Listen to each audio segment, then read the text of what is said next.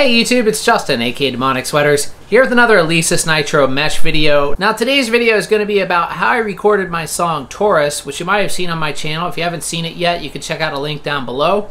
And the reason why I wanted to go through this, you know, basically step by step how I did it, is actually mostly just to show you guys uh, how to record the Alesis Nitro Mesh, and maybe you'll learn some other things in the process as well.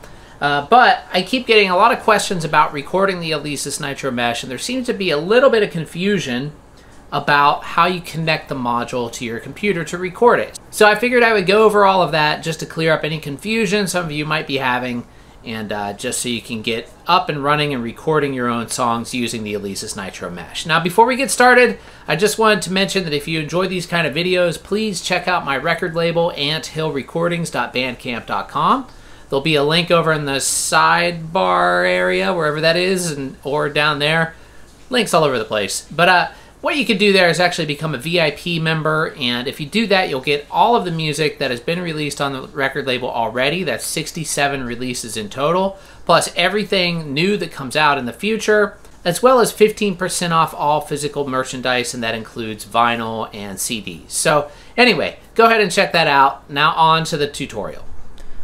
Okay, first things first, let's talk about how to actually connect your Alesis Nitro Mesh to your computer or to whatever you're recording with, because uh, this is where we run into a lot of confusion, uh, it seems like, with a lot of the viewers. So, first off, let me just unplug everything out of the back here so I can explain what all these ports are. Okay. So, if we look at the back here on the back panel, we'll notice a USB MIDI out and in, Tom 4, Crash 2, L mono and R outputs, and then an aux in. And then over here on the side, we have a phone's output, headphones. Okay, so to record audio from the Alesis Nitro Mesh module, like the sounds that you actually hear being made by the Alesis drum set, you're going to want to use the audio outputs, either the L alone, which is a mono signal, or both, L and R for a stereo signal.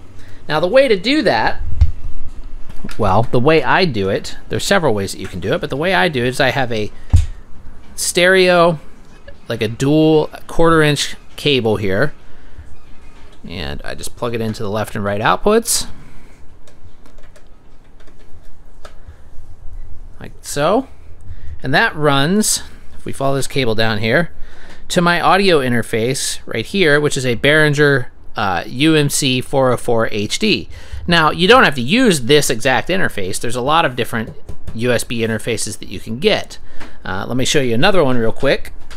Okay, so this is also an audio interface, and I use both of these. So I use this one set up here on my desktop computer, and then the other one I have over there by the drums, and then when I want to record my drums, I usually just plug my laptop in to that interface that's sitting over there. All right, so this is really the best way to record your drums by using a USB audio interface. Now, the reason for that is like, sure, there are sound cards and computers that you could run a cable uh, from the Alesis Nitro Mesh into the computer and record it that way using the built-in audio interface in the computer rather. But the problem with that is a lot of times you have to use special adapters. A lot of them now have these combo headphone microphone jacks built in. And these are kind of a pain because number one, you're gonna have to split that headphone and microphone jack using one adapter. And you're gonna have to use a special cable from the Alesis Nitro Mesh that basically sends the two quarter inch cables out to one single eighth inch stereo cable. So it's a lot of adapting and it's just kind of a pain in the butt to do it that way. And plus your end results are really not going to be as good as if you just did it with a USB interface because the USB interface is going to have a clean signal and it's basically made to record things like this. Now this is just talking about audio. Now if you're recording MIDI, this is something totally different. And this is when you would use the USB connection or the MIDI hardware connections on the back of the Alesis Nitro Mesh module. All right, I hope you guys got that.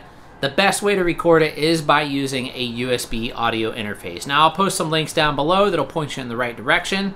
You don't have to buy the exact one that I have, uh, but anything that has two or one even line input, if you want to record stereo, you'll need two inputs Uh, but if you want to record just mono, you can have uh, just a single input will work. But most people probably want to do stereo, and most audio interfaces, the minimum will be a stereo interface anyway. So, okay, so now let's talk about how I actually go about recording a song and putting it all together myself. Now, for me, it can kind of vary sometimes, but what I'm going to do is tell you about how I've been doing it recently. So, what I'm going to do is basically walk you through the whole process of how I recorded that song, Taurus. And it starts out basically on this computer over here on my desktop. So, what I've been doing is actually using my guitar first and basically write the song on guitar. And then you can see over here, I have my amplifier mic'd up. That cable's going over here to my audio interface. I have my guitar going into there, and then I'm using Ableton Live as my DAW. Now you can use just about any recording software to do this. You don't have to use Ableton Live. You can use Audacity, Pro Tools, uh, you know, whatever you have is fine. Okay, so let me go ahead and solo this first track. And then if I turn my click back on,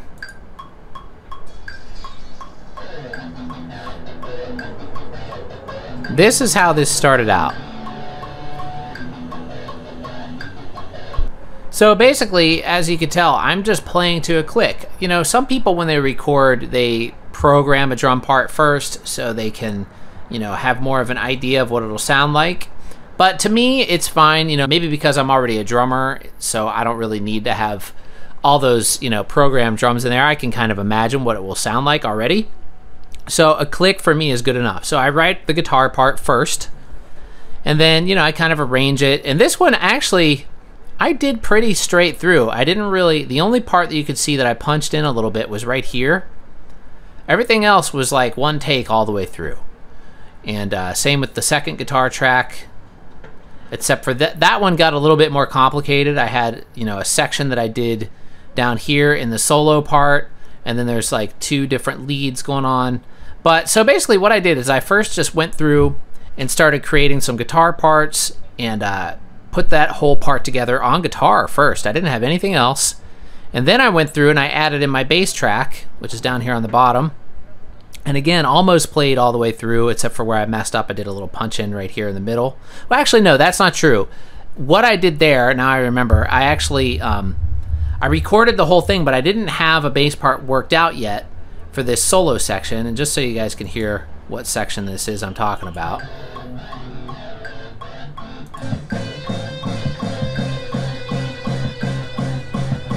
That part right there. So I didn't have that worked out yet. So basically what I'll do sometimes is I'll do everything that I know how I'm going to do it and then I'll go back and I'll punch in the parts after I figure out what I'm going to do and I'll punch them in later. Um, now down here, finally, after I finished all of those, drums were actually the last thing I did. Now, a lot of people do it the opposite way. They start with drums, but to me, uh, I do them last because I want to have the whole song fit, you know, pretty much completed before I start recording the drums. So that way I can play the drums the best that I can to hit all the accents and do everything, you know, to match up what I was playing. Now, the drum part, when I actually recorded that, I didn't do it on this computer. I recorded it on my laptop, which is actually down here underneath this audio interface. It's just folded up down there. But what I did is I, I just created a simple mix from this project. I just bounced down all the tracks into like a rough mix without drums. And then rather than transfer the whole project over to a different computer, um, I took that rough mix down and then I imported it into Ableton on that computer, set it up at the same tempo, and then recorded my drums. And once I had the drums recorded, I just took the wave file from there and then dropped it back in, into this project here and finished mixing it on this computer. Um, now that may be a, it may seem a little bit confusing, but it's actually better that way because that way I can start and stop, you know, with the laptop right next to me. I don't have to run super long cables over to this computer or anything like that. So that's pretty much how I did it. Um, you know, this isn't really a mixing tutorial or anything like that. I'm not going to go through any of that on here. I just wanted to show you the process. And that's my process, basically. Um, you know, there are other ways to do this, but this is how I do it. And the main thing you're just going to need to remember is, you know, just to have an audio interface to record the drums or to record everything. You know, if you want to record music on a computer, you're going to need an audio interface. I mean, I've made videos about, you know, showing people how they can get away with not having one and use the built-in sound card. And yeah, you can do that. But like I said, it's always it's going to drive you crazy. Um, it always will.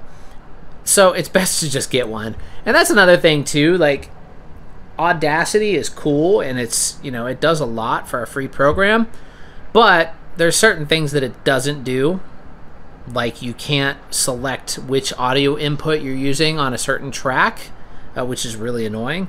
Um, so if you have nothing else, Audacity will work. But if you can spend a hundred bucks, you know, get something like Ableton Live Intro, which is what I have here, or Cubase Elements. You know, a lot of the most popular DAWs have kind of like a light version, which really, in all honesty, are pretty much more than adequate for most musicians. Um, I use Ableton Live Intro, which is like the cheapest version of Ableton Live. And for me, it's actually just great. Like, I, I really don't find any problem with it or think that anything is missing that I absolutely need. You know, it's a little bit lacking on buses and things like that, but I mean, I can get great sounding mixes out of it, and I'm always very happy with it, and I just like the ease of use in Ableton. And plus, it has this whole clips feature and everything that really I'm not even talking about. Like, how I'm using it right here is basically more like a standard, you know, computer recording software.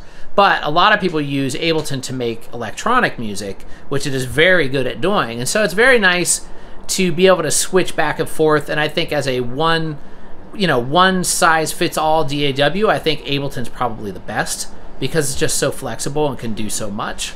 But like I said, there are many, many uh, DAWs out there. I always used to really, really like Cubase, and I used to use that one pretty much all the time until, um, I don't know, maybe 2015, somewhere around there until my version was just so old it wouldn't run on any computers anymore. And so I was like, well, maybe I should get uh, Ableton Live and check that out. And so I've been using Ableton pretty much since then.